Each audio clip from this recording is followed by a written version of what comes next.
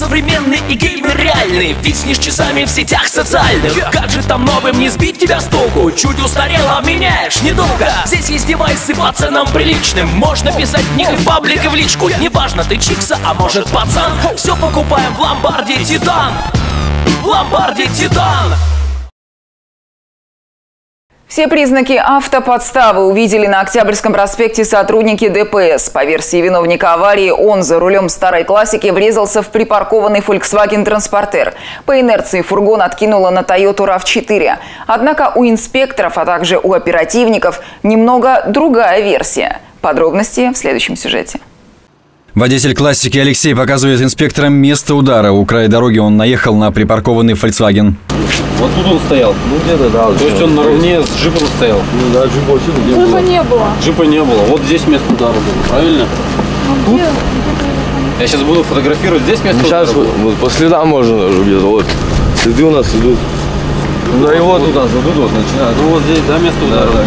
Если верить Алексею, удар был такой силы, что фургон откинуло на другой припаркованный автомобиль Toyota RAV4. Ну вот, ехали из этого. От цирка и на заправку поехали. Понятно. А с какой скоростью двигались? Не знаю, километров 60-70 там. Инспекторы удивились, когда водитель «пятерки» не смог объяснить причины ДТП, а ведь, по его словам, он почти не пострадал, провалы в памяти ранее не случались. А как так получилось, что вы попали в ДТП? Не знаю, ехали, ехали, вот. Как, не помню, головой ударился, как бы, всё, не могу вспомнить там.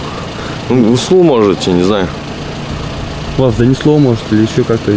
Не- знаю, вот ехали как бы, по краю. Инспекторы осмотрели машины и снова насторожились. Повреждения на правой части кузова фургона и повреждения на «Тойоте» вряд ли соответствуют характеру ДТП. Сотрудники ДПС вызвали опергруппу. Алексей, а вот опергруппа здесь еще подъехала. Почему, вот не знаете? Нет. А ну, что? ну, вот предъявляют, что это как бы подстава была. Автомобильная подстава, да. Да что как будто бы он знает водителя этого микроавтобуса, или как это сказать.